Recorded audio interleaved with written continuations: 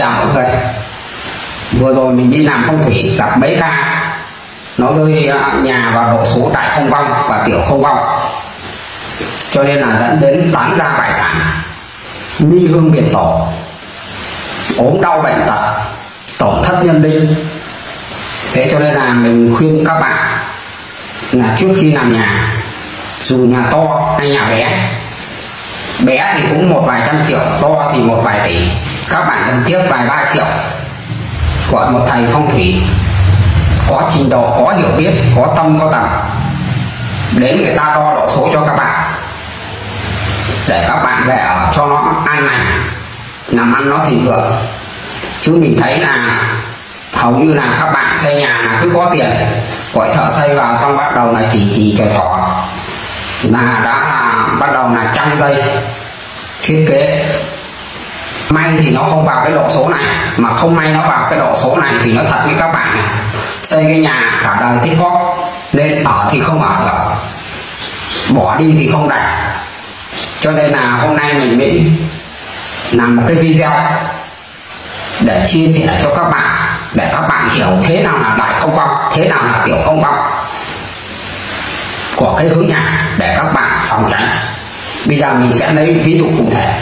Đây mình à, vẽ một cái bản vẽ của ngôi nhà hướng tây nam và tọa đông bắc.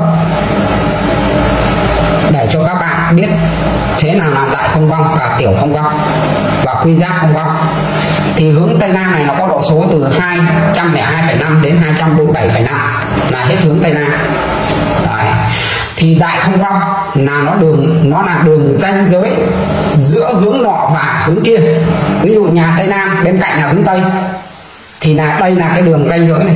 Giữa tây nam và tây, người ta gọi là đại không vong và cái đường ranh giới bên cạnh tây nam này là hướng nam. Đây là đường ranh giới của đại không vong giữa tây nam và hướng nam.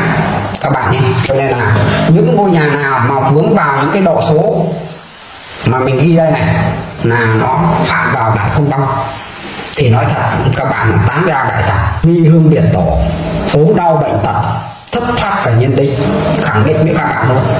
Đấy là riêng về đại không vong cái hướng thứ hai là hướng vào độ số tiểu không vong tiểu không vong là nó nằm vào đường ranh giới giữa sơn nọ và sơn kia, người ta gọi là tiểu không vong ví dụ, nhà hướng tây nam đây nó có ba sơn bùi khôn thân.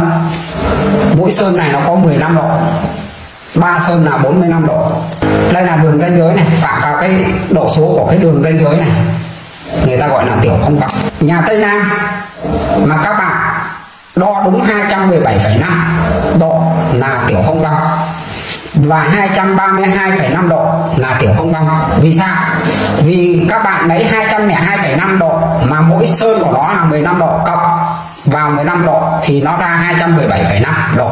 Đấy là tiểu không băng và lấy 217,5 độ cộng với 15 độ của cái xương khôn này thì nó ra 232,5 đấy là độ số của tiểu không băng là cái tiểu không băng này thì nó nhẹ hơn đại không băng nhưng tốt nhất là các bạn né ra bởi vì làm ăn cũng không phát được đâu mà gia đình hay ốm đau hay xảy ra những cái chuyện thế nọ thế kia. Tốt nhất là các bạn né ra các bạn cũng cộng trừ cho mình 1,5 đến 2 độ cho mình. Thì các bạn sẽ thoát được tiểu không vong và cái quy giác không vong là cái gì? Cái quy giác không vong này là nó do môn phái đại quái huyền không người ta tính ra thì trong tây nam nó có ba sơn bùi khôn thân. Thì cái sơn ở giữa này gọi là sơn khôn. Đấy.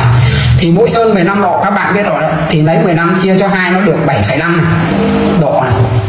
Chính giữa khôn. Thì người ta gọi là quy giác không băng nó cũng cực kỳ nguy hiểm luôn. Thật các bạn.